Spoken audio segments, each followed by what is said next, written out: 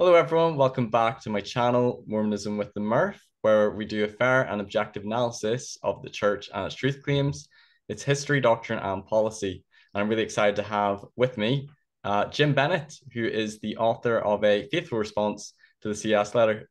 Jim Bennett, thanks for coming on. Thanks for having me. Yeah, it's a pleasure. Uh, so, Jim, for some people may not know who you are, so we're going to get him to introduce himself. Uh, but Jim has also been on uh, a few different podcasts. He's been on Mormon Stories. He had a what was it like 14 hour interview discussion with John Dehlin. You're also on Mormonism Live with RFM. You've been in Mormon discussions with Bill Reel, Midnight Mormon. So this guy, he's uh, he's not afraid to go on and have the tough discussions and be asked the hard questions. Can't shut up, is what you're trying to say. so, but you're definitely you're definitely someone who I admire for your willingness to have dialogue and discussion and you're not afraid to be asked the tough questions and you're somebody who has tackled uh, the ces letter and tried to do a response. And really the purpose of this interview is to we're going to dive in and just talk about the questions in the ces letter and jim bennett's responses to them and just have a, a good dialogue and discussion. How does that sound jim? Sounds great. Yeah. So before we get into the your ces letter response can you tell some of my audience who may not know who you are, uh, a little bit about you know your background, uh, talk about you growing up in the church. Uh, I believe two of your great grandfathers were presidents of the church. So tell us a little bit about that, uh, and then your mission because you went to Scotland on your That's mission. Right. Yeah, which not That's too fun. far from where I'm from, just so, across so where the pond. You, where are you from? You're Northern Ireland. You're from Northern Ireland. Okay, yeah. I had a mission companion from Northern Ireland. Oh, really? Who was yeah. it? Uh, his name was Carl Hamilton. Oh, right. Yes, I know. I know. I know him. Uh, I'm very close friends with his daughters. Oh, okay. That's well, very interesting. How old I am? We yeah. were missionaries together in, in Scotland. He's a uh, he's an interesting guy. That's right. Yeah, that's that's a good word. Interesting. okay. Well, yeah, we'll, we'll hear all about that. So, we start us off. Tell us where you're from. Tell us about your family background and growing up in the church. Sure, sure. Well, yeah, I I uh, I grew up. I've been a member of the church all my life. I grew up. Pe- people don't realize they assume that I grew up in Utah because my father was a senator from Utah for 18 years. But uh, they moved back to Utah. Both my parents are from Utah, and they moved back right after I graduated from high school. Uh, and I stayed in Southern California, which is where I grew up. I grew up in Calabasas, which is the land of the Kardashians. Uh, they got there after I left, so uh, you can't blame me for the Kardashians. uh, Kanye West tried to change the the mascot of my high school. He donated a lot of money to Calabasas High School and wanted to change the mascot from the Coyotes to the Wolves. Oh, and uh, the, apparently we we Calabasas Coyotes stood strong, and it's still the Coyotes. But uh, anyway, uh, so yeah, so I grew up in Southern California. So I grew up sort of away from um, the center of Mormondom, Utah uh, bubble, uh, from the Utah bubble, and uh, and I grew up away from the kind of expectations that um, that I think being um, a descendant of two prophets uh, would have placed on me. Although I did sort of feel the weight of that. Yeah, David O. McKay is my mother's grandfather, and Heber J. Grant is my father's grandfather. Um, and um, you know, so I I kind of always grew up thinking, geesh, these guys are just such heavy hitters, and I'm just this schlub. You know, what chance do I have? And I talked a little bit about that in in uh, in my conversation with RFM, but that's a whole right, yeah anyway, so yeah, I um I served a mission in Scotland from 1987 to 1989, so you can do the math and figure out that I'm an old man. and I um I'm married, I have uh, five children. Um uh, I sing in the tabernacle choir. Uh and you know, I've I've lived a really sort of normal boring life I've run for office three times and lost three times. The last time by 21 votes, Ooh. which which was really kind of painful. But uh, um, uh, I, I I don't know. So, so you want me to talk about CES No, that- letter? No, that's good. So, um, you also told me when we talked on the phone before we talked about the CES letter, you said that you experienced a faith crisis yourself. I think it was before your mission when Yeah. you watched the film The God Makers. Uh, yeah. can you talk a I little didn't briefly about film. that? I read the I read the book. I've never seen. Oh, the movie. yes. Okay. So I was I, I went to the University of Southern California. I was going to be a world famous actor. I was a theater major. Uh, you know that qualifies you to work at some of your finer fast food restaurants. Yeah. Uh, uh, I um, w- went to the USC library. I, I had an evangelical roommate my freshman year, and uh, uh, I went to the library at USC and checked out a copy of The God Makers, which was a book, uh, very breezy, easy read. I mean, it's not this big, lengthy. It's about as long, I think, as the CES letter okay. and um and yeah it shook me to my core it was terrifying it, it it outlined a church that was far more exotic and and wild than the relatively boring church that I'd grown up in. Yeah. uh, and, and it uses a lot of i think a lot of the same sorts of arguments against the church that the that the ces letter does but it's coming from a different perspective. It's coming from the perspective that the church isn't just false. The church is a satanic cult. That satan is at the heart of it. They they so really they really attack the the temple ceremony. Um, Yeah. The doctrine of like exaltation and becoming gods. I remember that when I listened to it, and yeah, they really try to paint it not just like it's the church isn't true, but the church is evil. Right, right. And this was terrifying, and it was it was my first exposure to a lot of uh, a lot of things, uh, particularly the temple.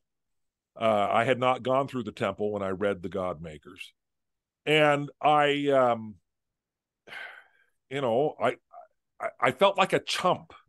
Yeah. I felt like, how is it that I grew up in the church and I didn't know any of this? And and so as a result, yeah, it, it- really kind of shook me, and I was trying to wrestle with whether or not I was going to go on a mission.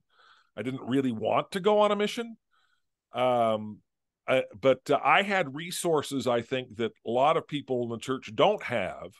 One of them being a very patient and very understanding father uh, who understood a lot of these issues and was, and was able to talk them through with me. Uh, and, and to do so in a way that was not uh, you know i wasn't condemned for asking the questions. I wasn't condemned for reading this book. How dare you? You know there was none of that.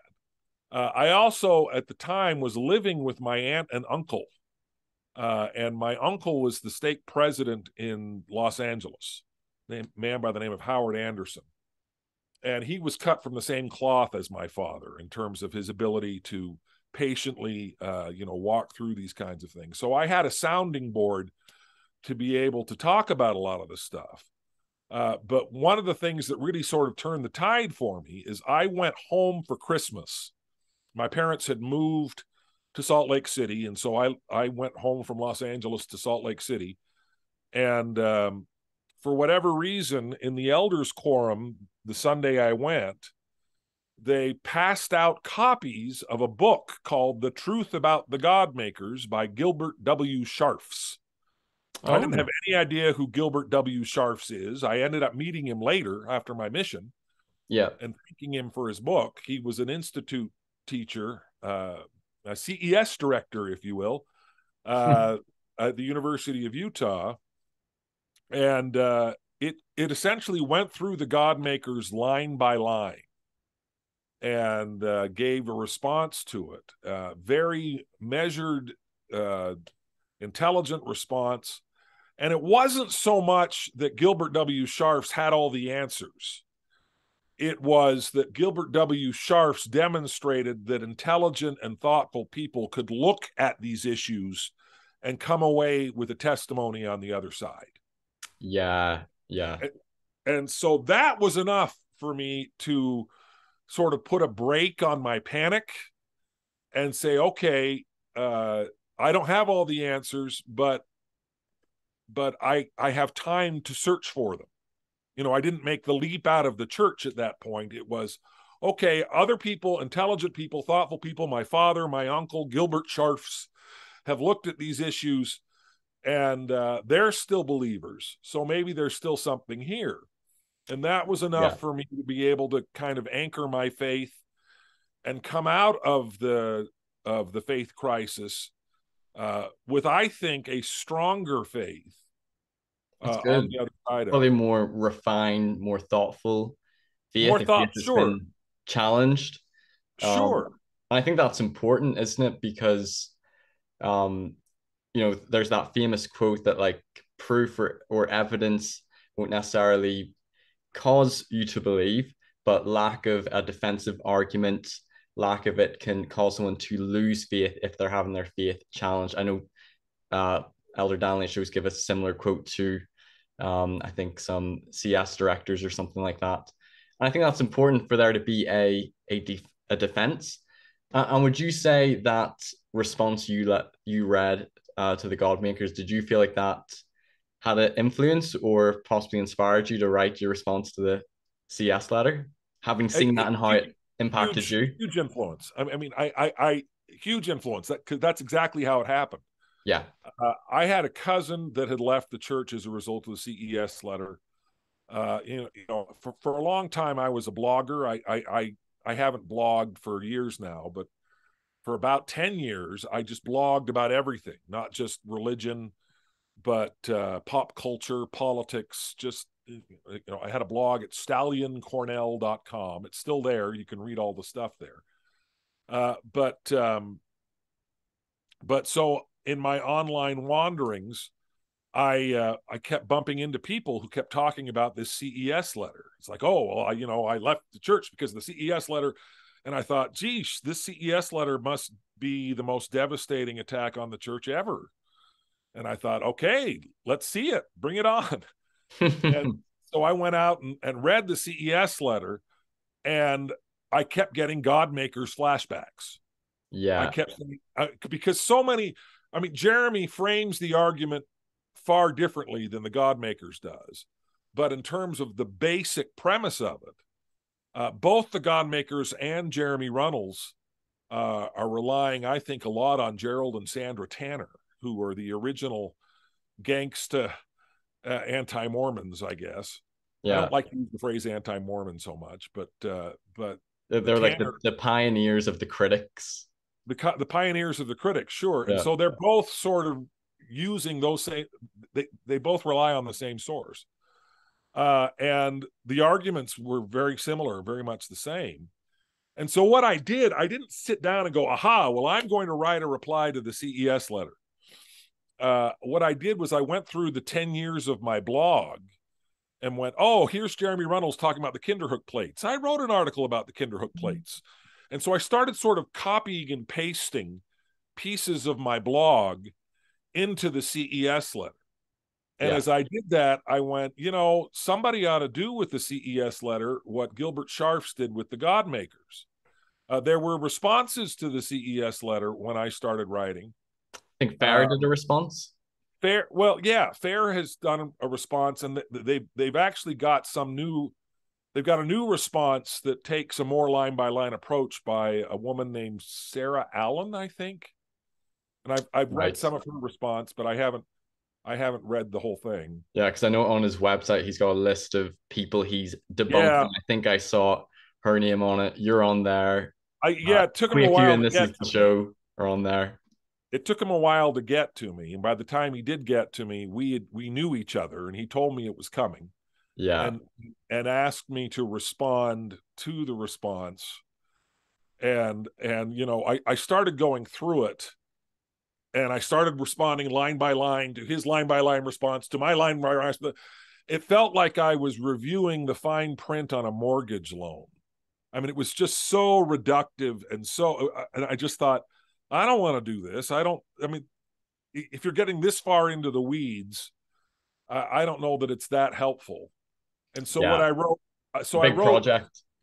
well, I wrote a, an overview that he tells me, and I haven't even looked, I should look but he tells me he's put in his response and it was an overview to his his response his biggest problem with my response to the ces letter is that he says, I'm not representing Mormonism, I'm representing Jim Bennett Mormonism. Mm. Uh, so so I he, I'm he says this this isn't really what re, what Mormonism really is. And so my overview response was uh, yes, you're absolutely right. I'm representing Jim Bennett Mormonism, and there are as many different versions of Mormonism as there are Mormons. Uh, you know, that's how this works. Faith is a very personal thing, and people, eh, you know, and that really was the purpose of putting together the reply. It was to give people the same kind of tools that I felt like Gilbert Scharffs had given me. It was to say, look these this is not the definitive answer. I'm certainly not speaking for the church. I'm certainly i don't have all the answers. This is how i've done it. Yeah. This is how i've confronted these issues and i've come away with faith on the other side. Your mileage may vary your mileage will vary and that's just fine. That's that's i think what the the way it's supposed to be. Yeah. So and i i admire that you I said this at the start that I admire that you're somebody who you know you're not a scholar, you're not a historian. Um, I don't know if you would go right. by being an apologist. You're a member who's probably done his fair share of research, who has gone through a faith crisis, and you've just taken upon yourself to try to respond to this, which um, yeah. is I think honorable, and I think the fact that you've had dialogues with different critics is also a sign of you know your courage as well. Um, and I like what you said earlier about because some people who go through a faith crisis, whether it's by reading the CES letter or or a podcast, sometimes they can feel um, judged or they can feel like, oh, you shouldn't be asking questions. You shouldn't be worrying about these things. Don't go looking at the internet. Don't look at what critics have to say. You know, just just forget about it. And I think there needs to be, you know, dialogue. There needs to be openness, like how you felt with your father, who, you know, listened, who helped you try to navigate through those things. And I think that's important for people who who are in faith crisis. Now we're going to talk um, a bit about your experience with Jeremy Runnels. Um, but okay. in your CES letter response, so for anyone who doesn't know what the CES letter is, basically Jeremy Runnels, he was a member of the church. He served a mission. I believe he was married in the temple. Then he went through a faith crisis when he was researching church history. Was it around 2012? He compa- he his grandfather, I believe, said that he had a friend who was a CES director, and he said that he could ask all of his questions and all of his concerns with church history and the church's truth claims to the CES director. So he compiled what 80, 100 page document with 10 or so topics highlighting, you know, all his criticisms, questions, concerns with the church's truth claims and church history and church doctrine and policy. And that is essentially the CES letter. It was sent, I believe, to the CES director, but it, there was no response. And then it went viral on, you know, online. And um, now you can get it either on PDF form or as a book. And there's lots of people who have read the CES letter who have gone through a faith crisis and left the church. I imagine it's probably in the tens of thousands. And then there's been a few people who have written responses. Yours is around, was it 350 to 400 pages? Uh, it was a lot. It's long. It was it's pretty long. long. Sorry uh, about that. No, you're you're grand. Um, so you said at the start of your response, and I took down these bullet points. Overall, you feel, um, and let me know if this is a misrepresentation, that the CES letter is poorly researched and isn't great scholarship, and you feel that Jeremy hasn't always read the sources or his citations that he cites, uh, and and you also feel that you can confront all of these issues without hurting one's testimony. Would that would that be yeah, accurate? That would be accurate, and, and, and that one part. So so Jeremy wrote a version of it that I responded to, and then he radically revised it Yes. And so the version that's now online, both versions are online, but the one that most people are reading is the most recent one. Uh, and yeah. when I went through the second time and rewrote it, I'm, over 50% of it is new material uh, right. in the second version of my reply. Uh, but the thing that really jumped out at me when I was replying the second time, even more than the first time, was how often Jeremy is just passing on an argument that somebody else has made and he hasn't even read it. He hasn't even read his own source materials. Yeah. And when he changes his argument to some degree, um, he doesn't change the footnotes.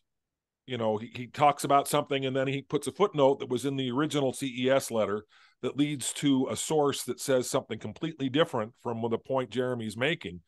And the more I got into that, the more I thought you you're not even reading your own source material. You're passing on an unexamined argument that isn't saying what you say it's saying. Mm. And uh, that frustrated me a lot the second time around more than the first. I didn't notice that as much the first time around as I did the second. Right. And and that's similar to the discussion I had with uh, David Snell on Saints Unscripted. Um, and, and we talked about when you're diving into these issues, how important it is to do your homework and to check, to fact check things and to not just take people's word for it because right. there's things which, even though I'm in the church and a believer, there's things I have unintentionally gotten wrong or realized that there's more surrounding this issue than what I was aware of. And it's very important to do your homework and be careful in this and perhaps intentionally or I, I would like to think unintentionally maybe some critics um or or Jeremy in this example maybe haven't always checked their sources thoroughly which is something that's important now whenever I read through your CES letter response I'm going to be honest uh, and I think you've got maybe some feedback um, some of it, I think you bring up some fair fair points, and we're going to dive into that. At times when I read it, it there does seem to be a lot of ad hominem or some ad hominem. There's times where it seems a bit snarky towards Jeremy, very defensive, and I even showed it to a family member because you know a certain segment because to me it seemed very uh defensive and almost you know that there was like a bit of bad blood and i was like how do you read this and and they thought you almost came across annoyed or irritated with them. Uh, I don't know if that was your intention writing it. What would be your response to people who feel that you know you're maybe just poking fun back or, or attacking Jeremy? Um. Well, I've got two kinds of responses to that. The first is uh, there is no ad hominem in this in my reply and and, and you, you you can push back at me on on that but i define ad hominem as an actual attack on the person to the man is what ad hominem means mm-hmm. No point do i attack jeremy runnels personally no point do i say um you know you're a jerk or you're this i, I mean uh so so so and, and every time somebody has said to me oh, your your thing is nothing but ad hominem against Jeremy Runnels. I say, could you please show me a passage where I attack Jeremy Runnels because I'd be more than happy to take it out. I even said mm-hmm. that to Jeremy when I, when I first had sort of the exchange with Jeremy. Um, so I, I, I, I and, and I stand by that. I mean, it's been out now for five, six years, and nobody's been able to really highlight a passage where I go after Jeremy Runnels as a human being. Mm. That said, uh, your number two, your criticism that it is snarky, that it is sarcastic, uh, and that I do get annoyed with Jeremy Runnels's arguments. Uh, that is entirely a justified criticism. Uh, that's entirely true. Uh, and I regret that to some degree. Uh, I, and I, I came to regret that most when um, the Midnight Mormons started making those. Uh, do you, do you remember that they, yeah. they, did a bunch of videos about the CES letter? Yeah, talk about that. Yeah, uh, this is the show was the name of the show. T I T S. You know, uh, uh, it's like Fair Mormon is paying for a show called Tits. It's like okay, great. Uh, but that was so over the top snarky and really did go after Jeremy personally. It does. And they and they kept quoting me. Right. That's, that's something I noticed whenever I went through your CES letter response. I realized like these are a lot of the arguments that they were making on their videos. So they were using a lot of your material. They were using a lot of me. And and so I went, sheesh, the fact that I'm able to fuel this kind of snarky, nasty video demonstrates that I went too far in terms of the amount of snark that I used in in my reply. Uh, but I, I stand by the fact that all of the snark is aimed at the arguments. It's Right. not aimed at the person. Uh, you know, I, I think Jeremy makes some really, really stupid arguments in the CES letter. And I think it's fair game uh, to attack an argument and Yeah. to be snarky and nasty about an argument as long as you're not attacking the person I agree. Uh, A- and and when I met the Midnight Mormons, and I talked about this with RFM, there's there's a segment the Midnight Mormons have yet to release, uh, where we talked about uh, their show, and I talked about the fact that look, attacking Jeremy Runnels does not diffuse the weight of his arguments exactly. and and Kwaku's response to that was that's like saying, well, if I get rid of this guy from Al Qaeda, some other guy from Al Qaeda will just take his place. And I said, no, no, no, that's not that's ridiculous. That's a terrible, terrible argument. Uh, it, it's the the issue is not if you have to say, well, the reason the CES letter is bad is because Jeremy Runnels is a bank robber or something. Jeremy Runnels is You're not just trying to profit off it. to find some kind of wild example that doesn't that doesn't uh, actually besmirch Jeremy Runnels. I think Jeremy Runnels is an honorable, good guy. I really like Jeremy.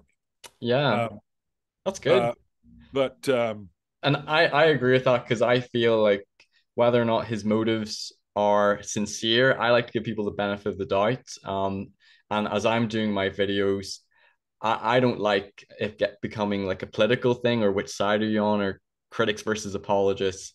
I'm more interested in the arguments and the evidence. right, want to try to come to truth. And I feel that if people can attack the person, uh, because whenever I, I listen to the this is the show videos, I almost found it a bit like propaganda. And in in that way that they made Jeremy Runnels and the CES letter sound ridiculous and stupid, and it was all nonsense. And it was it was influencing people. And I I whenever I was listening to the videos, I kind of felt like they either weren't fully confronting the issues themselves and they're detracting from from trying to attack him and discredit Yeah. him. I think that comes more from a place of weakness. I that agree. There should be no reason to attack the person. You should just talk about their their arguments. Um, and yes, I was a bit disappointed by the This Is the Show videos because I was really I knew it was coming and I was really looking forward to it because I'm somebody who has a lot of the same questions or concerns or doubts that Jeremy brings up in the CES letter. And for someone like me who is in the church but has been through a faith crisis, I found it extremely belittling and disappointing. And I've also had friends and family members who have left over the similar issues. Um, so I think it's important to, you know, if it's not a good argument, let's let's talk about why it's not a good argument. Um, and then let's just, you know, talk about the issue in a fair and also I think in a kind and loving way. Because there's some people's concerns and questions they might have, which to one person may not seem like that's not a big deal, but different things bother different people. You know, Jeremy he harps on about the stone in the hat. To me, Yeah. that wasn't a huge part of my faith crisis, but I had a family member who couldn't accept Joe Smith used a seer stone. That was like a shelf breaking moment, but we all interpret things differently. Could you talk a little about your experience in meeting Jeremy? And Sure. before you met him, um, because I think people can, when they read something, know, I told you that my family member thought that you almost seemed like you were annoyed with them, like you were shouting as you were writing it. And people can, they can obviously interpret how somebody writes things wrong. That's why I think it's bad to have an argument or a debate over writing or text. You know, it's better to have it in person. But did you feel any irritation or any frustration towards Jeremy because a lot of people had left the church when you were writing your reply? And then contrast how you feel towards him when you when you met him in person.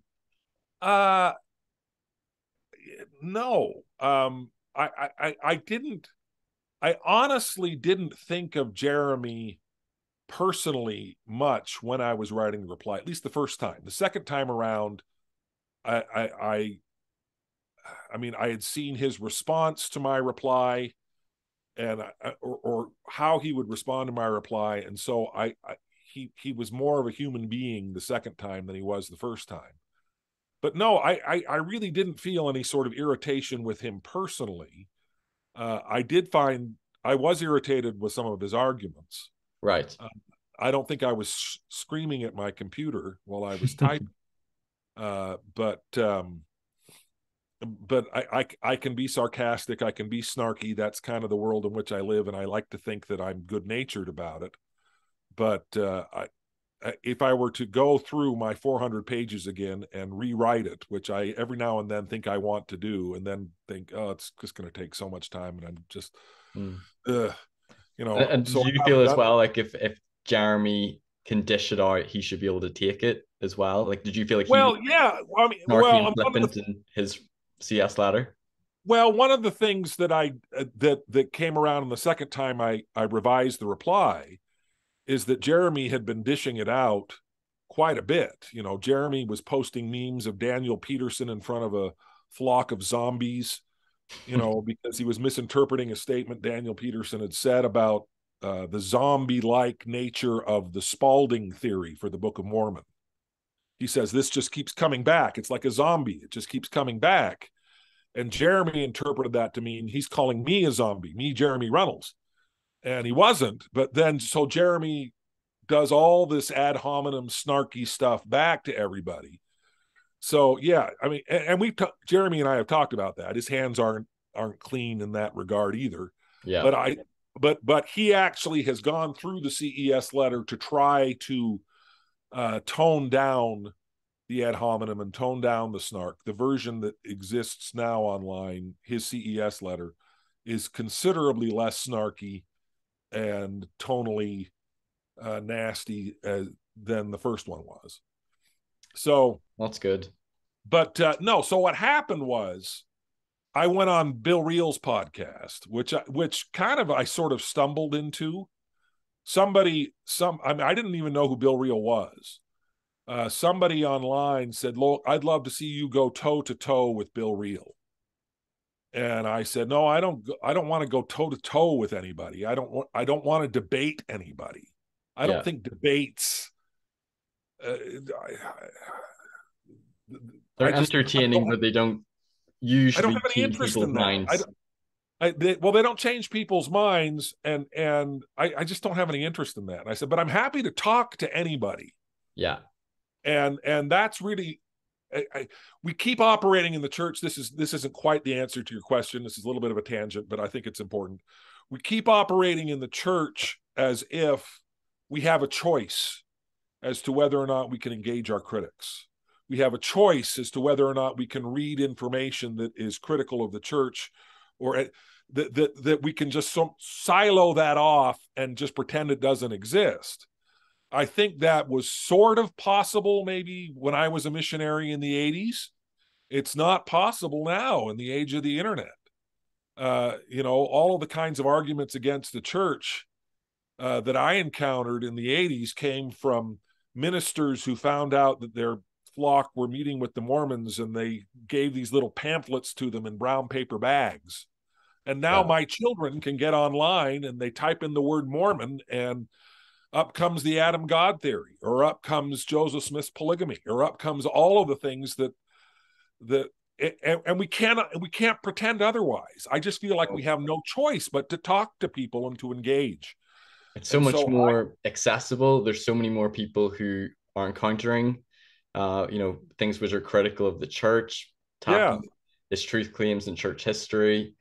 It's something that I think needs to be confronted. I think the church um, has probably been pressured and they're they're trying to be more forthright. You know, they've released the gospel topics essays, the saints volumes, the Smith Papers project.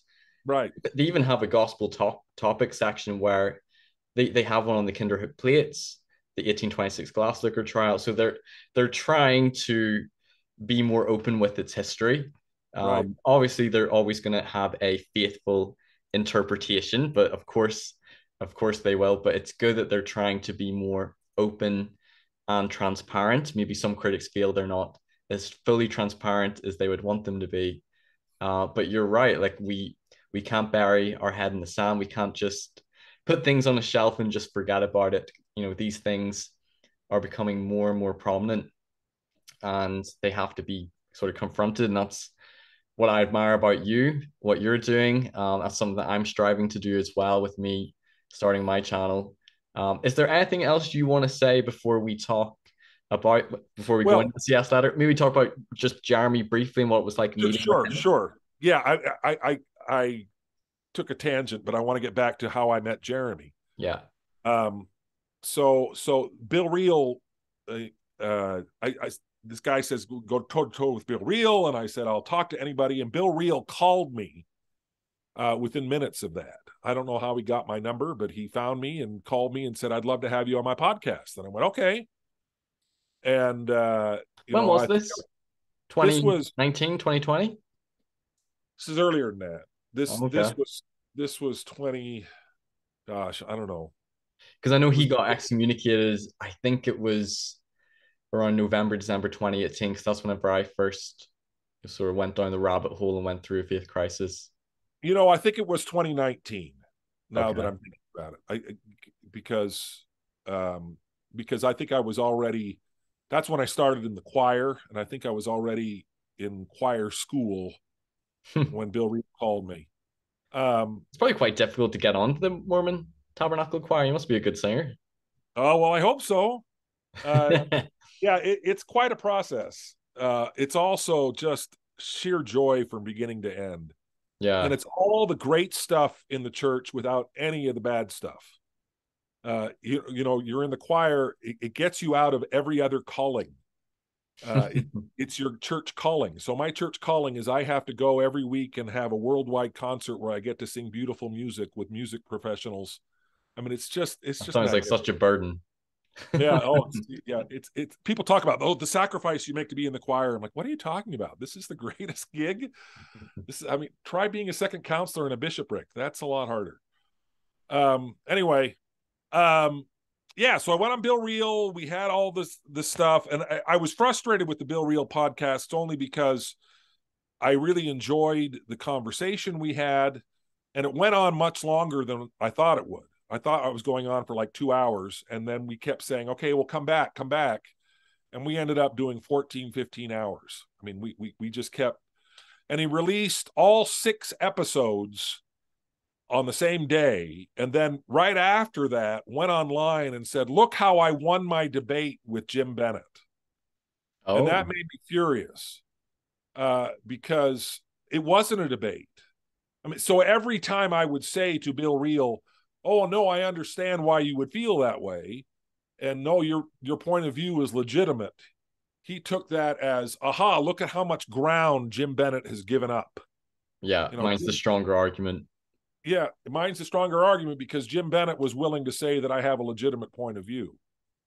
And and and that made me furious because i think that makes it harder for anybody to have those kinds of conversations again. Yeah. And we did this series of episodes and then we did an episode afterwards where we talked about the aftermath of the release. And if you listen to that, I'm a whole lot testier with Bill Reel than I was in the first six. I'll have to watch that. And I, I don't know if I've watched all six. I watched definitely a few of them. They're not video, they're only audio. We didn't do a video thing. Mm-hmm. Um, I, in fact, I can remember recording one with my microphone next to me while I was lying in bed. Don't tell anybody. uh, but uh, yeah, it, so, but that's neither here nor there. The point is that after that, I got an email from Jeremy Runnels. And Jeremy said, Oh, you made such a fool of yourself on the Bill Reel podcast. Oh, man, you gave me all the rope I need to hang you with. Uh, you know, you're just an embarrassment. And oh, it was so much fun to see you. I mean, it, it was really nasty. And, and I wrote back and I, and I, you know, I was nasty to him back, and we went back and forth. And, and at one point, I said, "You realize no one else is reading this, right? It's just me. You know, we're, we're not we're not doing some kind of performative thing on the internet where people can. So we don't need to be this snarky." And and finally, I said, "Look, hmm. this be more. Wouldn't this be more fun over burgers? I'm buying." and that completely disarmed him. It was like, uh, okay, sure. So we went to Cubby's in Lehi, uh, which you're on the other side of the pond, so you wouldn't know what that is, but it's a nice burger place in uh, in northern Utah County. And we sat for we we had lunch, and uh, you know we it was a little bit icy at the beginning, and then finally he said, "All right, now tell me why you went after me." And I laughed, and that just sort of broke the ice, and we just started mm. talking. Yeah, and uh, we were there for about three hours and we could have gone on all day if, oh, I bet. didn't have other things we had to do. But uh, I got to know Jeremy. He's from a similar part of Southern California as I am. We had kind of similar backgrounds. Uh, I think he's a great guy. Uh, I still don't agree with him, and I still think there are a lot of things in the CES letter that are pretty stupid. But but Jeremy Runnells is a great guy, and I think Jeremy Runnells – uh, came to his position uh, from a place of integrity. You know, yeah. he, he confronted these issues and felt that he had to leave the church as a result. And I confronted the same issues and didn't feel like I had to leave the church, and in fact felt like, uh, you know, my testimony was stronger at the end of it. And uh, and I think there's nothing wrong with saying those are both legitimate points of view.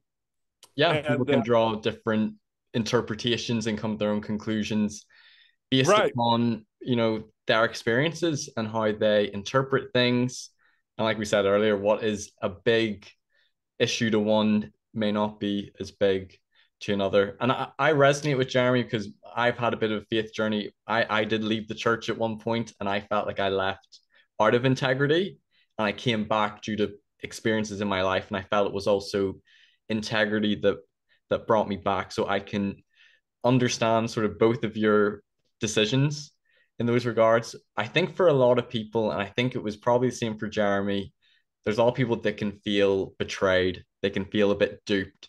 They could feel right. like this is not the church narrative of church history of Joseph Smith that I knew about growing up.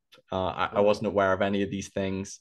And it just seems so damaging and there's a lot of people who just don't know how to reconcile all of the the problems or the issues or the messiness with their the sort of whitewash very faith promoting simplistic view they had of the gospel and and church history and i think right. that's that's a hard thing is that betrayal that a lot of people feel yep i mean and that's exactly how i felt uh, with my faith crisis as a 18 year old kid yeah.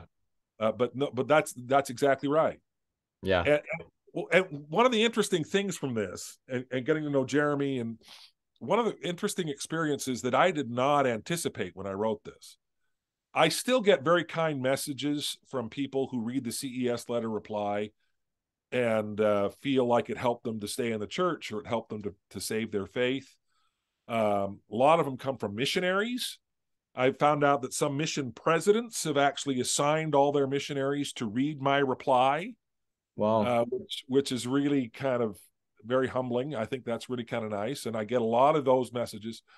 But I now, after going on Bill Reel, after going on John Dehlin, particularly, and after actively engaging with people outside the church, people who've left the church, I get just as many, if not more, messages uh, from people outside the church who say you did not convince me to come back to church i but what you did convince me is that it's possible to be in the church and be a person of integrity and you've helped yeah. me you've helped me to be able to um, better understand and appreciate and deal with my family and friends who are still in the church.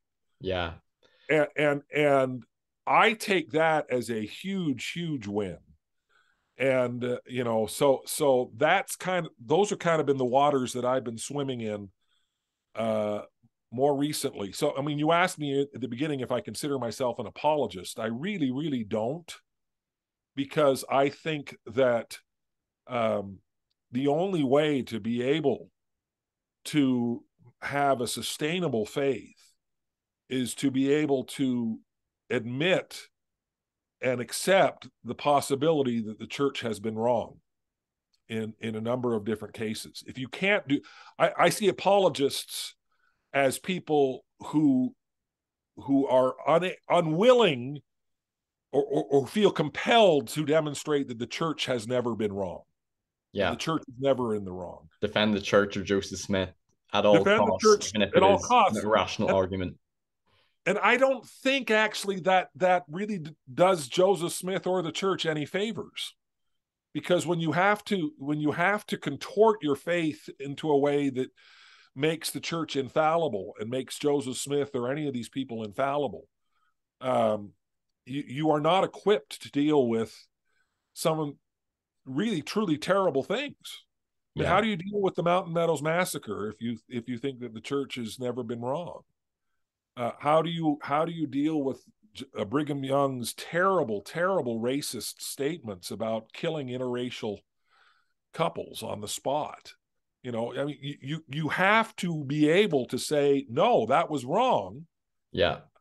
If you want to be able to uh, to have your that that has to be a possibility.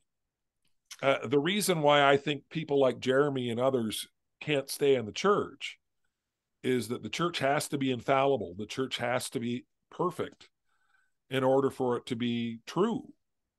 And the church isn't perfect, the church isn't infallible. And so therefore the church has to be not true. I mean the, that kind of black and white thinking yeah uh, of necessity drives people out of the church. If you can't give up the black and white thinking, then you can't stay in the church when you encounter real and powerful errors and mistakes and and problems that, that definitely would have been my my view my testimony would have been black and white. It's all 100% true and perfect. Everything a prophet says everything that's in the scriptures. And um, i would have felt like i had a really sure testimony like i would have been able to say i i 100% know had so many spiritual convictions and confirmations both intellectually spiritually and I agree with you that I I could not go back to that black and white thinking when you know that there, for example, there's been prophets who have said or taught things which are wrong doctrinally, right. morally, right. um, you know, that don't harmonize with doctrine or with your ethics. And you can't go back to that simplistic um, prophets are always right. They'll always teach the truth. They'll never lead you astray. Um, and that there is that but that can cause people to then just leave. You know, there's no yep. way they can reconcile it. And there right. can be that gray for those who are more nuanced, for those who still can find ways to have faith, who still believe in the truth claims while acknowledging all this messiness, all this complexity, all this confusion. Uh, and I think that's what we're going to dive into and discuss. All right, let's more. dive. Let's go. So the first part of the of his CES letter, he talks about the Book of Mormon you know, the Book of Mormon, it's book of scripture, another testament of Jesus Christ. It is considered to be the keystone of our religion.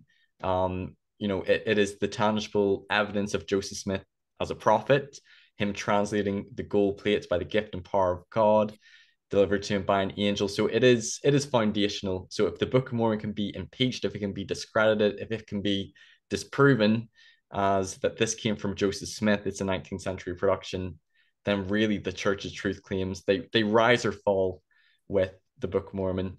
So we'll start with um, his criticism surrounding the Book of Mormon. So some of these questions I'm just getting directly from the CES letter. Some of them I'm maybe paraphrasing. Okay. The first thing he brings up is what are 1769 King James Version errors or variations? What are they doing in the text of the Book of Mormon that are unique to the 1769 version which Joseph Smith had. So he's he's essentially saying, you know, if if it was translated by the gift and power of God, why should there be any errors that come from the King James Bible translators? You know, why would there be errors in it? And isn't that convenient? That's the same Bible that Joseph Smith had. Could you talk about your response to that? Sure.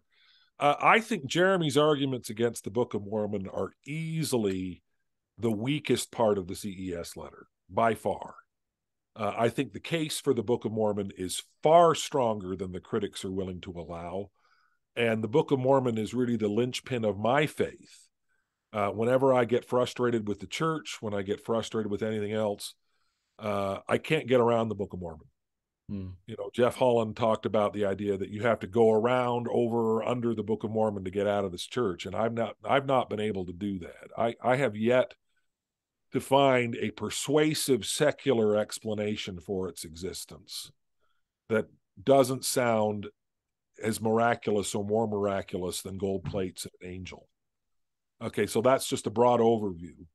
Uh, so not only do I think Jeremy's arguments about the Book of Mormon are his weakest, but I think this is his weakest Book of Mormon argument uh, because it it it's woefully ignorant of what translation is and how translation works.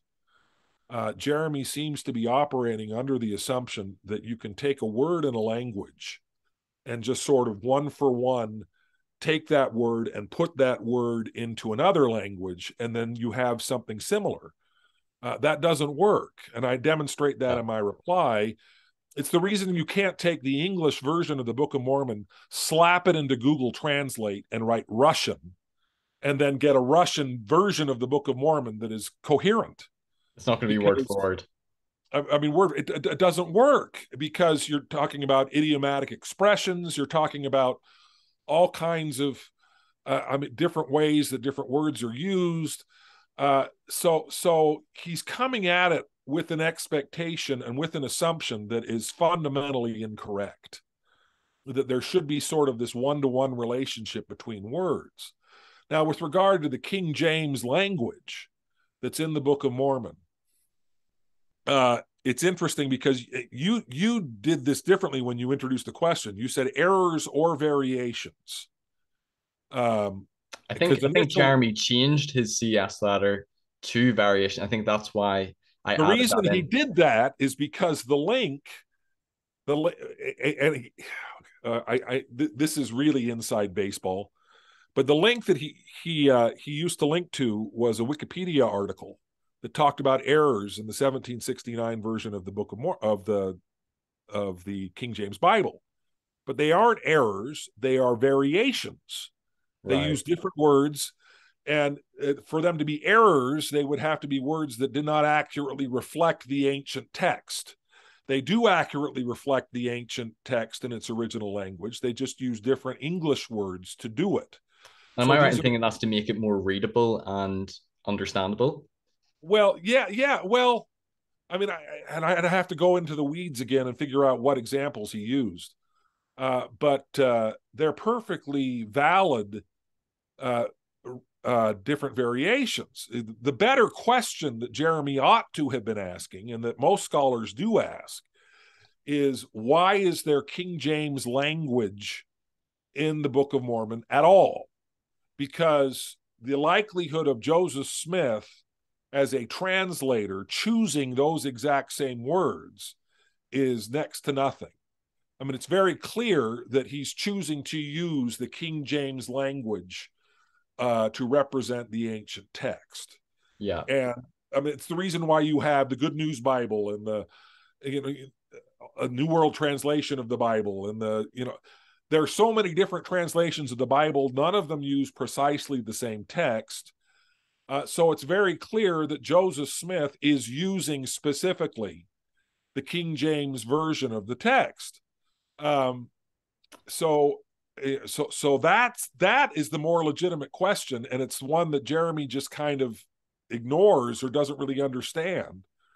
And uh, I think the answer to that question, Hugh Nibley answered that question better than anybody did. He talks about when the angel Gabriel appeared to uh, Mary he quoted the Old Testament in the language and version that Mary was most familiar with. Mm. And so there, there's no reason to think that if Joseph Smith is receiving this translation, he, he isn't translating it in the way a traditional translator would, uh, because he doesn't know the ancient language. He re- he's receiving the translation as revelation.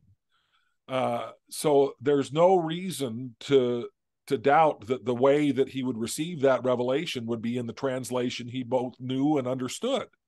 Yeah. Uh, I, and, I know some apologists would say, depending on whether you lean more towards a tight translation where he's reading it word for word from the stone or a loose translation where it's more inspiration and revelation through his mind. Um, Yeah. If you believe it was a tight translation, then I suppose the the interpretation would be that God revealed it to him in 19th century King, King James Bible language. Right. Um, and that you know God can speak to us according to our language, our understanding, or if a loose translation, I, I'd like to get your thoughts on which you lean towards more. Then it's Joseph clothing.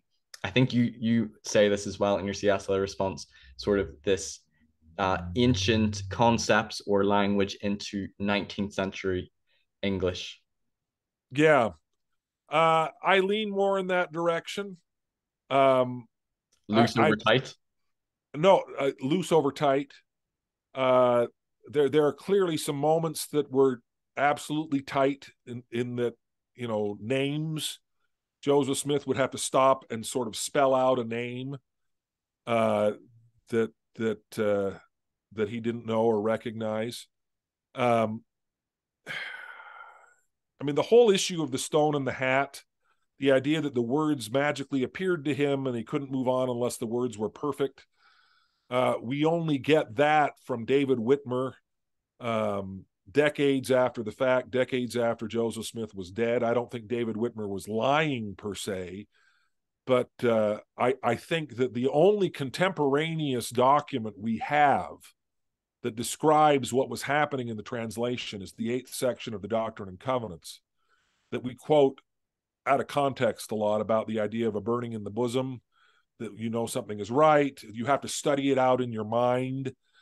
Uh, that that revelation seems to make clear to me that whatever was happening required effort on joseph's part that he was actively engaged somehow in that process uh, and and people who have studied the actual manuscript richard bushman talks about the, the fact that they the manuscript seemed to come in about 20 words at a time. And then they would stop and, and names were spelled out one letter at a time. If you examine the document it seems to favor that kind of kind of a an understanding of how that document was produced. Uh, but so so that that would suggest to me that joseph however that worked joseph was not a passive participant. And and a, a fully tight translation makes him a newsreader uh, and not really a translator in any kind of respect. It just he's just reading it. And uh, and I, I i think he was an active participant in it. And I, I i can't define that. I can't put the boundaries on that uh, I wish we had more information about that. Uh, but uh, what's fascinating is that that's, that applies to the Isaiah sections that are just huge mass portions of the King James Bible that appear in the Book of Mormon. A much easier way to do that would be to take down the King James Bible, take down the paper, and just start, you know, copying it. Uh, but it's very clear, particularly from some of the errors uh, one of which Jeremy cites, the idea of, of the sea versus the Red Sea. Yeah, I remember that one. Uh, uh, it's very clear then that Joseph Smith is reading this to Oliver Cowdery, uh, and that that it's not just somebody just copying. Uh, you wouldn't have those kind of errors if you're just copying the letter. And also, over 50% of the verses have slight variations in them, which again wouldn't happen most of them aren't of any major significance but but that suggests he's getting this information somewhere from just copying it out of the pages of a bible.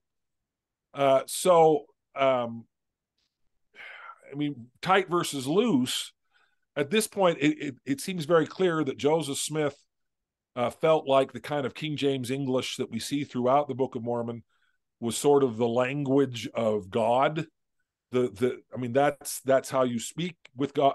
It's interesting to me that this lingers now that we pray with thees and thous in king james english in english. Because even the doctrine and covenants is in king james language as well. Yeah. And uh and i don't think we need to do that personally. I've mm-hmm. kind of given up doing that. I still pray with thees and thous in church because i don't want people to think i'm some kind of freak but but in my own personal prayers, my prayers are more conversational. They're more like um, Tevye from Fiddler on the Roof, just looking up to the sky and having a conversation with God. I I, I find that to be uh, more uh, appropriate in my own personal life. Yeah, but but it's uh, less formal as well. It wasn't until I started going to Christian churches that I realized that we're probably one of the only few churches that pray in King James, you know, English, yeah, thees and thous. Yeah, I don't I don't think that's necessary personally, but but but the point is just to bring all this home. Yeah. Uh, uh, the, the idea that uh, there's King James English in the Bible demonstrates, I think, Joseph Smith's weaknesses and Joseph Smith's understanding of that's how God is supposed to talk. And so I think that's how God spoke to him because it was more familiar to him that that he used the translation with which Joseph Smith would have been most familiar. Hmm. And that seems to me to be entirely appropriate. I don't think it's a very compelling argument against the Book of Mormon at all. What What do you think of those uh, passages? Um, I don't know them word for word, but there's you know passages in the Book of Mormon and the Doctrine and Covenants where the Lord makes it seem like these are my words. These you know these are not the words of Joseph Smith. These are the the words of the Lord, and that Joseph is the translator. And some apologists would lean more towards the Lord seems to be indicating that it is a more tight translation versus loose. And I had one apologetic friend tell me that D&C 8 or it was D&C 9 that says you know you must study it out in your mind then ask me if it be right you know when Oliver Cowdery failed he pointed out to me that Oliver didn't try using the stone he tried using you know the divining rod. So maybe Joseph Smith didn't do it the same method as that. Don't want to spend too long on this point but any any thoughts on that? Like scripture saying that these are the words you know words of the Lord not the words of Joseph mingled with you know inspiration. Right. Well, I, I, I don't think there is any there are any words of the Lord uh, that don't come through a human conduit, and therefore aren't um, limited by human weakness and human frailty. Uh, okay. Uh, in the same verse, in the same sec, well, in the first section of the Doctrine and Covenants, uh, uh, the Lord speaking through Joseph Smith talks about speaking to them in their weakness according to their language that they may come to understanding. Yeah. Uh, you know, that that was the verse Paul Dunn used. I'm quoting Paul Dunn is probably terrible to do because Paul Dunn is discredited, but he talks about the guy who went to the University of Southern California, which is the same place I went. Paul Dunn was an institute director there. And this guy was a member of the church and he was in an English class. And the English professor says, uh, found out he was a member of the church, and he says, "So, does the Mormon God speak all kinds of different languages? Does he?" And and the student said, "Well, sure, of course he does." He says, "So, so he speaks English." Well, yes. Does he speak better English than I do? And this student, he says, "Now remember, I'm a I'm a professor of English at a prestigious university and I've studied this. Does, does your God speak better English than I do? And this student said, Well, yes, I may get in trouble for this, but I'd say that God speaks better English than you do. And this professor then says, Well, then why doesn't he? And he takes out a copy of the Book of Mormon that's been marked with all of these grammatical errors.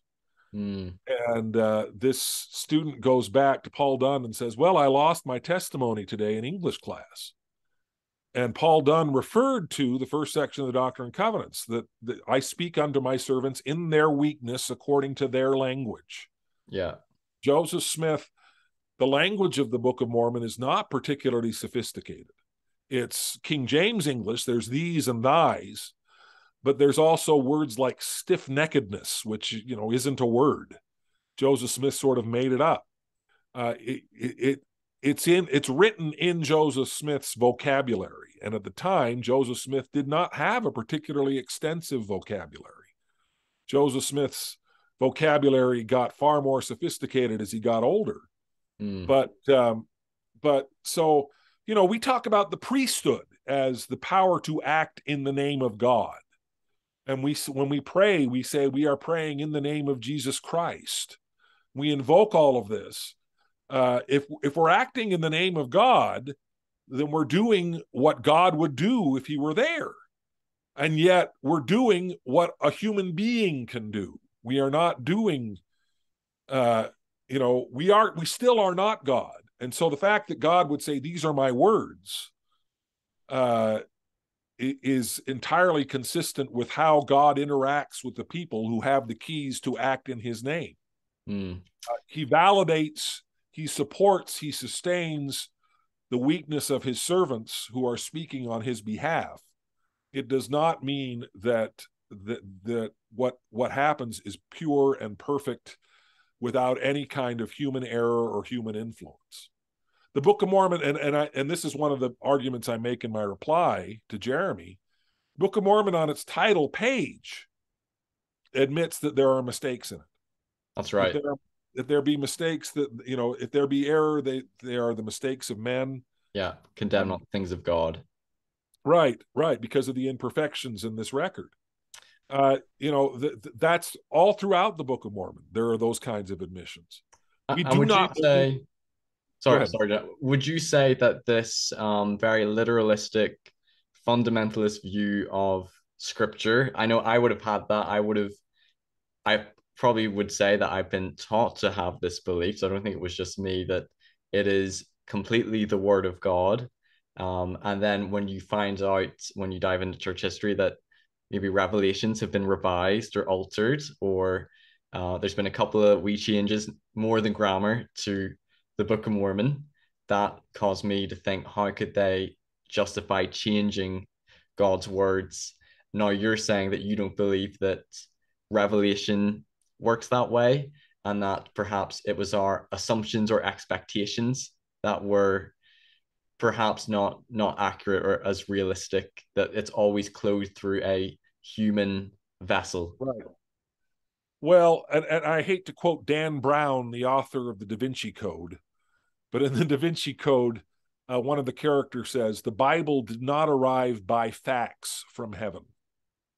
And, and I think people think of Revelation as Joseph Smith stands there and a teletype of words appears before his eyes. And, and that's how the revelation comes. I mean, I, I, I talk about, and I talked about this a little bit with RFM in, in our interview a couple days ago. Um, my experience with revelation. I talk about a personal revelation that I received when I was wrestling with the policy of exclusion from 2015 when gay children of gay people could not be baptized. Yeah. I was pretty much on my way out of the church. I, I was so frustrated with something that I knew to be wrong. And I thought, how can I stay? And I, you know, I can count on one hand the times where I feel I've received genuine personal revelation. Uh, but I I feel that on that occasion I did, and the revelation, uh, if I were to clothe it in language, would be be patient. It will all work out in the end. Those are the words I use when I describe this revelation. I also describe, please don't leave the church. This is where I've put you. This is where you can do the most good. Uh, those words never ever appeared to me in any, I did not hear those words. I did not see those words. But what I felt was what Joseph Smith describes as pure intelligence flowing into you.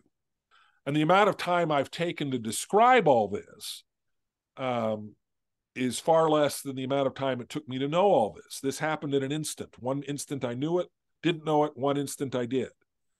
And and included in that pure intelligence was also a feeling of love, of pure love, of acceptance, of of understanding. Um, all of these things, uh, it's too big for words to contain.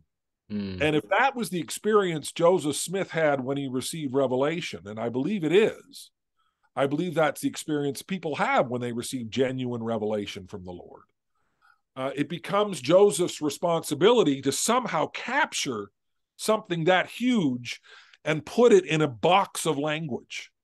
Uh, and that's difficult to do. And so the fact that Joseph went back and would revise or, or, or do all of that uh, doesn't trouble me in the least uh, because the words themselves are not the revelation. The words are a description of the revelation. And to fully understand revelation, you have to, I believe, uh, have access to the same spirit that provided that revelation. Uh, we hear that all the time from from prophets. Uh, the, the the Holy Ghost, Joseph Smith says, no man can receive the Holy Ghost without receiving revelation. The Holy Ghost uh, is a revelator, and and you know, even when you're sitting in church and someone bears a testimony and it touches you and you feel the Spirit, there's a revelation there. Uh, there's information. There's a con- the confirmation includes information. Mm. So it does not disturb me at all to know that Joseph re- revised his revelations. The revisions to the Book of Mormon, uh, it's fascinating because the overwhelming majority of them are grammatical, and it's because the initial text included no punctuation. The Book of Mormon was first punctuated by E.B. Grandin, the printer, who was not a member of the church. So I don't know that we ought to believe that he was receiving revelation as to where he should put periods and commas. Uh, but uh, the the revisions Joseph Smith made, uh, and and Jeremy brings them up in the CES letter. The most significant revisions are where he talks about, you know, the the Trinitarian revisions. Yeah. Behold, Mary, the mother of God. Uh, Behold, Mary, the mother of the Son of God. Joseph added that. I think he did that because he was concerned it sounded too Catholic. Uh, to clarify it. To clarify it. Uh, neither neither one of those versions of it is any more or less Trinitarian than the other.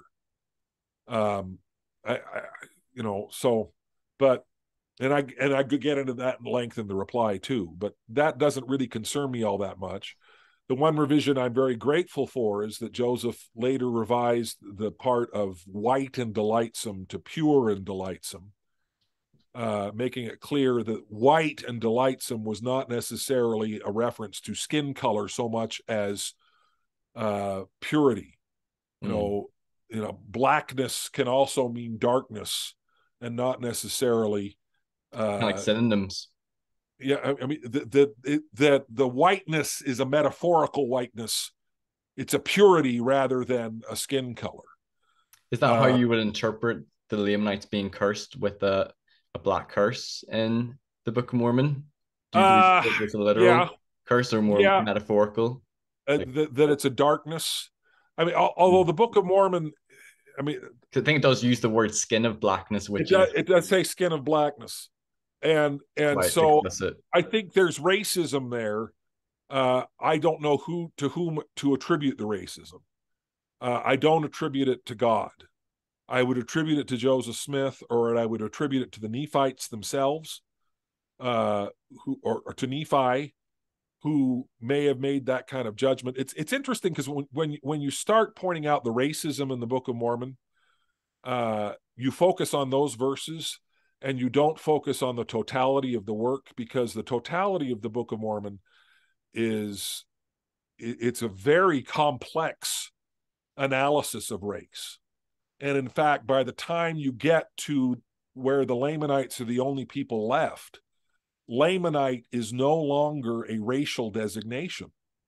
After Jesus comes in fourth Nephi and third Nephi and fourth Nephi, it tells us that there were no manner of ites, that all the people were one. Lamanites, Nephites, everybody. They've all intermarried. They've all so, and then finally there are people who call themselves Lamanites. Uh, when when that time of peace ends. But that's no longer they're no longer direct descendants of Laman. Yeah. Uh, so so this is no longer a racial designation. So it you can't apply this. It does say the curse of God then follows them, but it doesn't describe a sort of skin color happening when that happens. It describes that they they, they have brought the curse on themselves because they're no longer following God. So so you I would argue that the most um, righteous prophet in the Book of Mormon, the one that that Jesus himself says you better include his writings here, is Samuel the Lamanite. You know that that skin color he's he's clearly a lamanite when lamanite is still a racial designation. Hmm. uh, so to, to, say that the book of mormon is racist is to ignore uh, the entire totality of the work and to ignore the condemnations of racism specific condemnations of you know um, rail not against them because of the color of their skin. And of course uh, second nephi uh, is it 2230 all are alike unto God. He denieth none who come unto them, black and white, bond and free. Yeah. Uh, you know, the Book of Mormon is it, it, the message of the Book of Mormon is that we need to reject racism. But I think the racism of Nephi or the racism of the translator made its way into Second Nephi chapter five. Yeah. And, and as you were talking about revelation in scripture, I think for me personally, I would find scripture very problematic if every single word came directly from the mouth of God, you know, like God breathed, as um, you know, some Christians view the Bible. Um, right. As you talk about it, it, it almost seemed to me like they're they're recording their own revelations and experiences. And there's some parts of the Book of Mormon which just seem more historical. You know, this happened in this year and this happened. It doesn't seem overly right inspired. Like, is this really the word of the Lord, or are they just recording what's going on and then they're writing themselves their own experiences and revelations with the divine. Right. Well, there's been really good um, discussion so far on the Book of Mormon. I have a few more questions to ask. This one you might feel like you, we've already sort of touched on, but he talks about mistranslated Bible passages. This is one thing I noticed on my on my mission. So I noticed there's a scripture where Jesus says in the Sermon on the Mount, you know, there's many that will, you know, say, uh, you know, cast out demons in my name and do many wonderful works, and then I'll say to them, I never knew you. And I remember reading in the Joe Smith translation, he changed it to You never knew me. And I right. interpreted that as, oh, he's, you know, the Bible has mistranslations. He's translated it into its correct version. And I preferred that translation. And then I remember I read in the Book of Mormon as a missionary, and it's had the incorrect the translation in the Book of Mormon. I was like, huh. I was like, that's funny. You think it would have the correct translation you know, if it came by the gift and power of God. And he he cites different passages um, where you know that's that's the case. What would be your response to that? Well, uh, that goes a little bit with what I said previously, which is the, the revelation is not the words. The words are the description of the revelation. Uh, the example Jeremy uses is where in the Sermon on the Mount, um, the Joseph Smith translation the Sermon on the Mount, when when uh, Jesus talks about take no thought for what you will eat or drink, you know, um, uh, Joseph Smith translation makes that clear that he's aiming that directly at the apostles. That the apostles don't need to take any time, you know, you know, Peter needs to give up being a fisherman. They need to give up their livelihoods. Don't worry about it. Go out because as you as you do this, um, I'll take care of you. And, and but that's not necessarily a promise specifically to the entire world. That we, you and I, who are not apostles, we got to figure out where our next meal is coming from. We've got to go get jobs. We've got to work. Um, not the apostles, not that apostles don't work, but they're not worried about any of that kind of thing.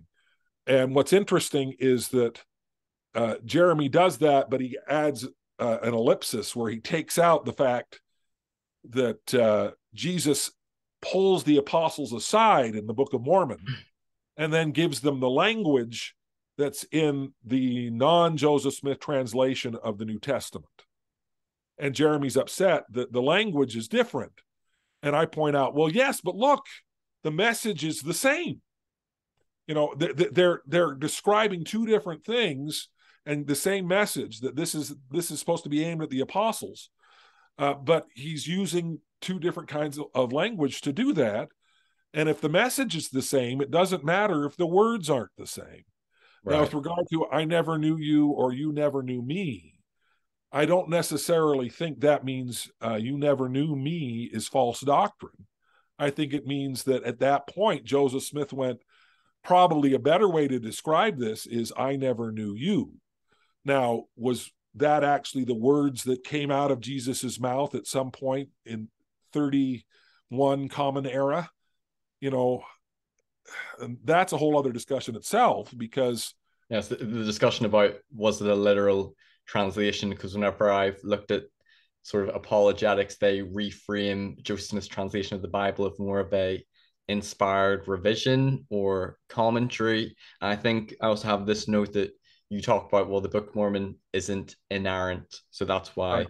that could be in there as well. Anything else you want to add on to that? No, no, I think uh, no, no, only to say that that the Book of Mormon, the power and the strength of the Book of Mormon comes from its ability to serve as a divine access point.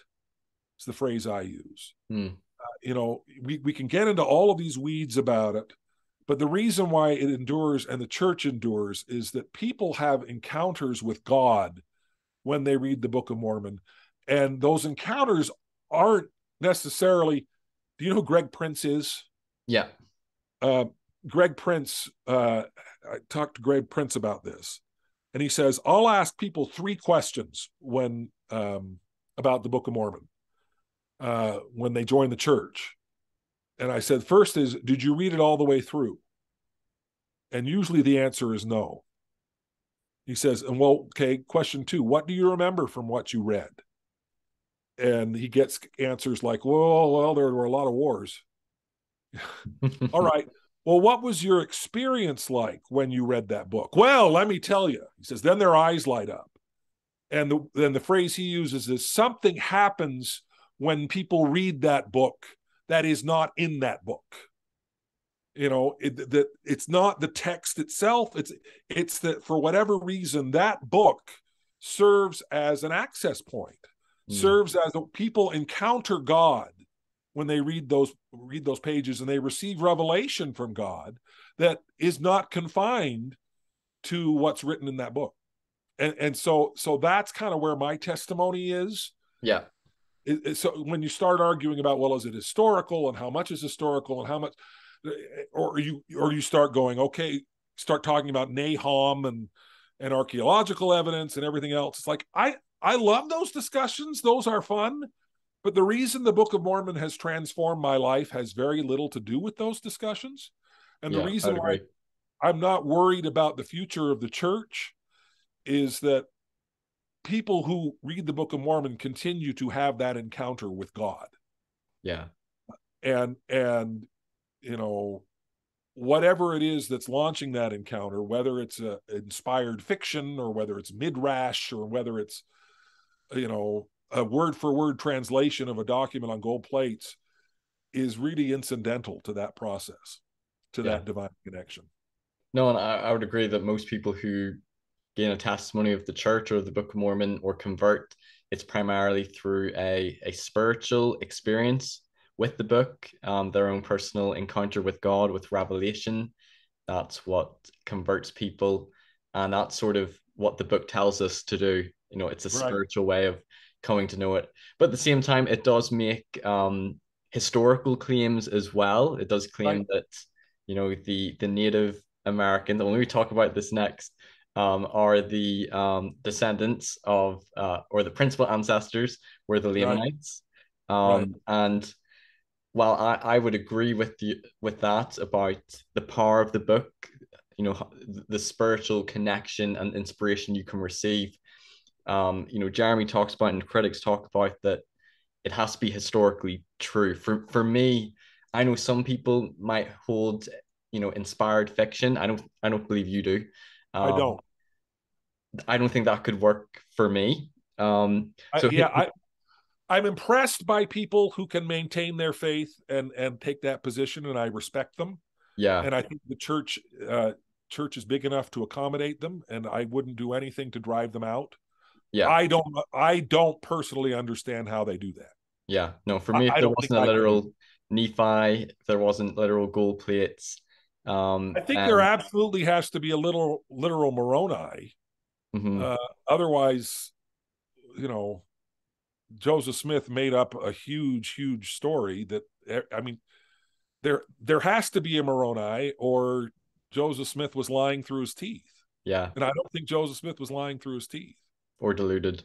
So so Jeremy says, you know, DNA analysis concludes Native Americans originate from Asia, not Israel, uh, and that the church changed its introduction to the Lamanites are the primary ancestors of the Native Americans to they are among the ancestors, and that science pretty much forced this change, and it calls into question the Book of Mormon's historicity. Um, what what are some of your responses to DNA? It's a complicated one. I'm not a sure. scientist, so sometimes it goes over my head. Talk a little about your response to that. Um, my response to that is in line with the Gospel Topics essay, which was written by Ugo Perego. I think I'm pronouncing his name right. Yeah. Um, um, well, I want to back up a little bit because people scream about that change in that introduction as if somehow that's a change in scripture. That introduction was not written by Joseph Smith or translated from by Joseph Smith or part of the gold plates or anything else. I think it was added in 1981. I could be wrong about that. Yeah, I have that in my notes. I think was introduction changed. wasn't part of the the scripture. I mean, I mean, I I, I don't understand. I mean, that that's like saying that all of our our uh, manuals have to be infallible. Mm. You know, I mean, this this is not at no point uh, are, are we to presume that, that that's part of the scriptural text. So the fact that it's changed doesn't bother me at all and, and it changed because it I think it more accurately reflects uh, our the, the extent of our knowledge. It does not contradict the previous statement, however. It allows for a greater possibility. I mean, the previous statement is they are the principal ancestors. Well, if they are the principal ancestors, then they are also among the ancestors. So if it turns out that the original statement was correct, this new statement is still also correct uh, I think it's the church sort of covering its bases and hedging its bets a little bit because uh, because we don't understand the genetic makeup of of the Lamanites and all this kind of thing. So my understanding, you're not a scientist. I'm not a scientist. Uh, Ugo Perego is a scientist, um, and and what the scientists say is that the amount of information we can get about ancient people is extraordinarily limited far more limited than the critics are you are using to expand mitochondrial DNA to exclude the possibility of Lehi's family settling on the continent. I think it does eliminate the possibility that Lehi and his family landed on an empty continent, which is, I think, what a lot of people believed for the vast majority of the church's history. Uh, I don't think the text can sustain that, and I think the actual Book of Mormon text um, uh, speaks against that in a number mm. of different ways. Is that like uh, um, was it Mulek and his people yeah. and the Jaredites being there before? Right. Um, I know some but, critics would would cite a scripture. I think I think I have it here in my notes. It talks about how think this is kept from other nations. Yes, that that passage, yeah, sort yeah. of implying that only um it's a choice land for God's people and it be kept from other nations, so there shouldn't be other civilizations there, uh, except for maybe you know the Jaredites who were led there, or you know Lehi right. and his family. So there shouldn't be all this intermingling, and that's that's a convenient way to say, oh, we can't find, you know, right. the, the DNA because they've just intermingled and then they were they were they were killed off. You know, a lot of them in the final battle. Uh, you, you do allude that there was some studies. I have in here Asia, a 2013 study and 14 study confirming some Middle Eastern DNA. Um, you referenced that in your CS. I haven't. Well, yeah, but I also uh, well, I don't know if I referenced that in my reply, but but there, there's a group of people called the, that call themselves the Heartlanders. Heartlanders. Oh yes, right. Rod yeah. Meldrum, uh, haplogroup X. And I, I am wandering into an area where I know next to nothing. And what scares me though is that Rod Meldrum also knows next to nothing, but talks about this with a certainty that would make any scientist uncomfortable. Yeah, my, my understanding is that it doesn't date to Book Book of Mormon. Yeah, it dates, he doesn't agree with the dating. Well, yeah. He, well, he believes in a young Earth. He believes yeah. that the Earth is only 6,000 years old. And so the fact that this haplogroup, which is consistent both in North America, in a small group in North America, and in the Middle East, uh, it's it dates back, you know, long before Lehi would have gotten there, like twelve thousand BC. Yeah. I think. Yeah.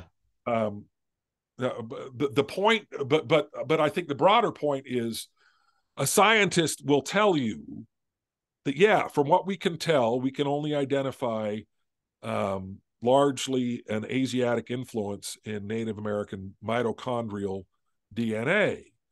Uh, what Ugo Perego points out is that uh, a, that kind of a genetic trace is only uh, passed down maternally. It's not p- passed down paternally, which means that if if at one generation you don't you only have daughters or you have sons that don't reproduce, um, or, or you know, or, or you only have sons and you don't have daughters who reproduce, that that marker disappears and points out that there are civilizations that are far younger where earlier maternal DNA markers have disappeared.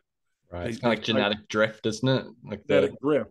I mean, well, well, and, and it gets more complicated by the idea of okay, so what should we expect Lehi's DNA to have looked like? Well, we assume it would look like the DNA of somebody in the 21st century who's Middle Eastern. But why do we assume that? we assume that that those markers have survived unchanged over the course of millennia uh, you know there, there are just so many different factors that it, I, I mean i would certainly prefer from an apologetic standpoint for you know the dna to scream hey guess what everybody these guys were middle east these guys were jews uh, and it certainly does not do that um, but uh, you know, what what what should we expect the DNA markers of the Jaredites to have been? What should we expect? Uh, Orson Scott Card. Uh, uh, do you know you know Orson Scott Card? No. Orson Scott Card. He's kind of fallen out of favor lately, but uh, I think he's probably the the best fiction writer that the church has ever produced. He's a science fiction writer. He wrote the book Ender's Game. Um, anyway, he, he's hmm. and then he and then he got in big trouble um, because he wrote a bunch of anti-gay stuff that got him sort of blackballed in uh, the literary world. Um, but uh, anyway, backing up, Orson Scott Card wrote an, wrote an essay called Art, "Artifact or Artifice," And he offered the possibility that the Mulekites were not Middle Eastern, that the Mulekites were either descendants of Jared or Jaredites, but in order to get along and with the um, with the Nephites, just announced themselves as as Middle Eastern. Hmm. And so everybody didn't he claim to be the son of Zedekiah? Son of Zedekiah, yeah. Yeah. You'll have to go to his but since then, I have heretically bought into Orson Scott Card's argument and think that that this is them inter- intermarrying with a group that chose a label of somebody that the Israelites would have known and respected in order to be able to build a relationship, and that there isn't necessarily a genetic link there. Uh, that is probably a heretical, terrible thing to believe and I don't think anybody else has to believe it, but I think Orson Scott Card and I are both on that same page. Uh, the point being, the broader point being is is that what we can definitively know about the ancient DNA of anybody that lived 2000 years ago is so slight that to say what we do know now precludes the existence of the Nephites and the Lamanites is just a huge, huge overreach. Okay, that's grand. Um, so uh, Jeremy talks about anachronisms in the Book of Mormon. He most, mostly focuses on um, sort of things with archaeology and some of the animals. So, you know, the Book Mormon talks about horses, sheep, cattle, pigs, goats, elephants, whales, and that these all didn't exist in the Americas prior to Columbus. And he also says that there's a lack of archaeological evidence. I think he says there's no archaeological evidence to support the Book of Mormon. Uh, I'd like to give your response on, you know, critics attacking the anachronisms in the Book of Mormon and just your thoughts about lack of archaeological evidence. Uh, I, it is wrong to say there is no archaeological evidence uh, for the Book of Mormon because there is a considerable amount of archaeological evidence for the first 40 pages of the Book of Mormon, which take place in a specifically geographically identifiable spot. Uh, Lehi's traveled through and his family through the Arabian desert. Lehi's travel through the Arabian desert has has been uh, confirmed in really sort of miraculous ways, uh, in ways that critics are not willing to allow. It's not just the existence of Nahom, which is an ancient burial altar that exists exactly at the place where Joseph Smith said it was and where the Book of Mormon said it was, and it was unknown uh, at the time that the Book of Mormon was published. The incense trail that uh, Lehi took uh, is a, has been discovered as a sort of um, uh, an, an, ancient trade route that was unknown in in 1830 and has since later been discovered. Um, you know, the land bountiful, where you have a mountain full of ore where Joseph could build a ship, and this lush, beautiful paradise. Or Nephi. Uh, yeah, uh, there's a, there's a spot right there in Oman that fits the description perfectly. Uh, that's exactly where it would need to be in order to fulfill what the Book of Mormon. I mean, so so that isn't proof that the Book of Mormon is true, but it is certainly evidence, and you you have to delineate between evidence and proof. Well, that's uh, it because my thought whenever there's that question, there's no archaeological evidence. Um, people might interpret Nahom and Bountiful and Lehi's travel through the, the Arabian desert as good archaeological evidence, not proof. And some may interpret as just a coincidence. You know, it, right, right, right. You can't authenticate and, and, it. And that's the nature of what evidence is. Uh, it, it, you know, you you have. It's the reason we have a court system where people use exactly the same evidence to offer diametrically opposed positions. You say, okay, here's here's a piece of evidence uh, this is how I interpret that evidence. This is what that evidence means. The defense and the prosecution interpret that exact same evidence entirely differently. Mm, yeah. um, so, so it is not true to say there is no evidence. It is true to say there is no proof. Yeah. Now, it becomes a whole lot more difficult in the new world because we don't know where this this stuff took place. For most of the history of the church, people assumed it took place all across northern and southern the entire um, western hemisphere and that the narrow neck of land was panama and the and the isthmus you know uh it, it's it's uh the isthmus of panama. Um oh shoot. Uh, can we pause and, yes. and come back? No Is problem. terrible? No that's okay